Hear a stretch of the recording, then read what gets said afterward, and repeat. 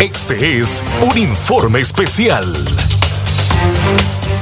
Mucha atención a este informe especial. Equipo de Hable como habla ha llegado hasta uno de los pulmones de la capital, hasta el cerro de Uyuca, donde comprobamos que sí hay fuego, pero se nos decía que era un fuego controlado. Vamos a confirmar con Nelson Sorto y para qué queman eh, parte del bosque. El cerro de Uyuca es uno de los cerros importantes y rico en fauna y flora. Vamos con usted, Nelson Sorto, para que nos dé mayores detalles. Adelante, Nelson. Muchas gracias, abogado Pablo Gerardo Matamoro, licenciado Eduardo Maldonado, compañero del control principal de Habla como Habla Televisión Digital. Estamos en el mero lugar, aquí. Uyuca.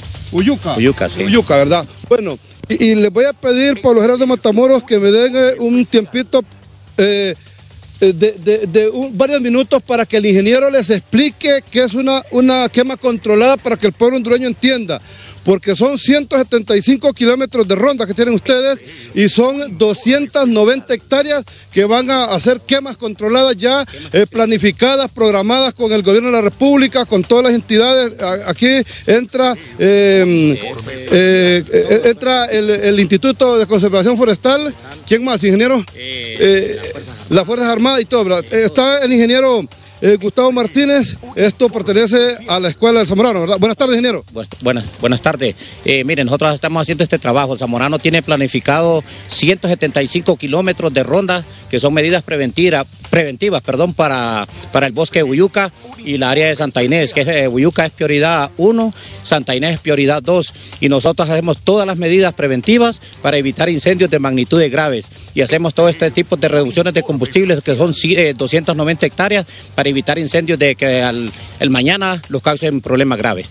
¿Cuántos días llevan trabajando ya en este- haciendo este tipo de, de- de quemas controladas? Comenzamos el 8 de enero hasta esta fecha y terminamos a el 13 de marzo, si Dios lo permite.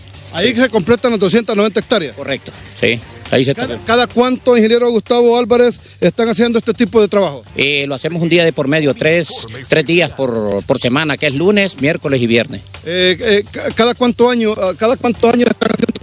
Eh, nosotros somos bastante conservativos, como Zamorano protege todo el Uyuca, es una, es una responsabilidad de la institución, es un área protegida y nosotros las hacemos cada cinco años en las áreas sumamente peligrosas donde las topografías son mayor de 70, 80 o 90 grados. Ingeniero, eh, explíquenos una situación. Eh, durante todos estos días, hasta marzo, van a estar viendo incendios en toda esta zona eh, de, de Uyuca hasta llegar allá a Santa Inés, en el sector de adelante del Zamorano, pero que no se preocupe la gente, que son ustedes que están haciendo quemas controladas. Cuando vean personal del Zamorano, son quemas controladas. Eh, sí, todas las instituciones ya estamos eh, acostumbrados a trabajar con todas las instituciones que protegen los bosques del país.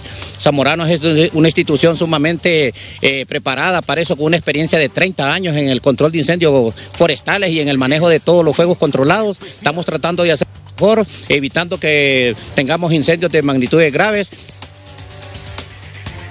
Cuencas y microcuencas de todo lo que es el Valle del Yeguare. Y, esto se hace para que eh, un futuro o el día de mañana haya un incendio de grandes proporciones, aquí ya no haya ningún problema. Eh, no, todas son medidas preventivas. Aquí al haber algún incendio ya tenemos nosotros todas las áreas con, eh, con medidas ya bien, ca- eh, ¿cómo le dijera?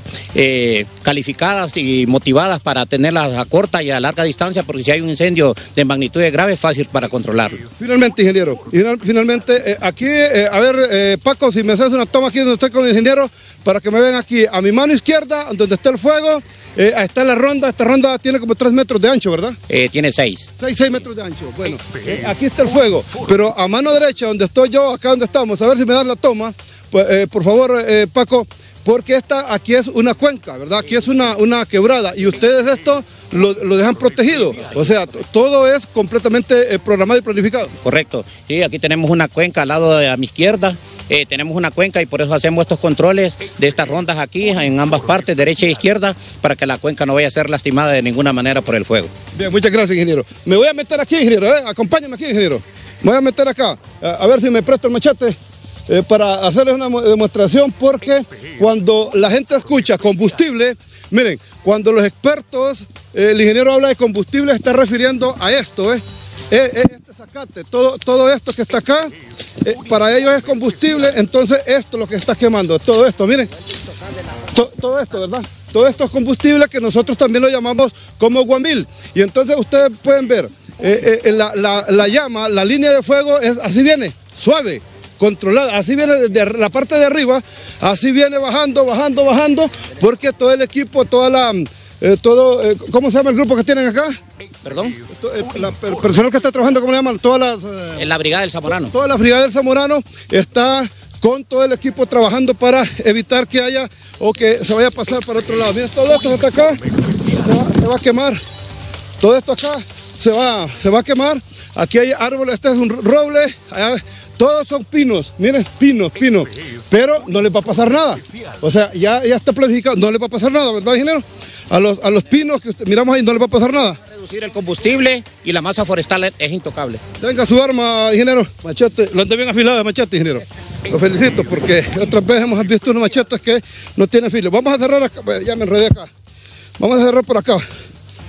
Eh, mire, Paco, vamos a cerrar por acá. Eh, quiero subir por acá.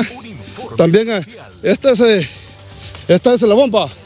Esta es la antorcha, esta es la antorcha con la que prenden el fuego. Mire, Pablo Gerardo, Liceo Eduardo Maldonado. Esta es la antorcha con los. Aquí andan gasolina, ¿verdad? A ver si acerca, ingeniero. A ver si, ingeniero, disculpe. Estamos en televisión en vivo, ingeniero. Es gasolina y diésel 50-50. 50 y 50, ¿verdad? ¿Cuánto- ¿Cuántos muchachos le acompañan hoy aquí, ingeniero? 22 hombres. 22 hombres, ¿verdad? Sí. Bueno, mire, acá ya esta parte que está aquí, ya está pasando el fuego. Ya prácticamente está, así va a ir quedando. Así va quedando y con el tiempo este arbusto que queda ahí va a ir cayendo, se va pudriendo y va a, servir de abono para eh, la misma plantación que está aquí en este sector. Esto es lo que está pasando aquí en el sector de Uyuca, Pablo Gerardo Matamoros, Liceo Eduardo Maldonado, una quema controlada que ya la tenían planificada y esto va a continuar hasta hasta el 13 de marzo, marzo que van a terminar allá en el cerro, el sector de Santa Inés, más a unos cuantos kilómetros adelante de la Escuela Panamericana del Zamorano. Nuestro contacto junto a Marlon Osvaldo Barona Durón, José Oseguera y Alan Francisco El Paco Velázquez, retorno con ustedes al control principal de Hable como habla televisión digital. Bueno, muchas gracias a nuestro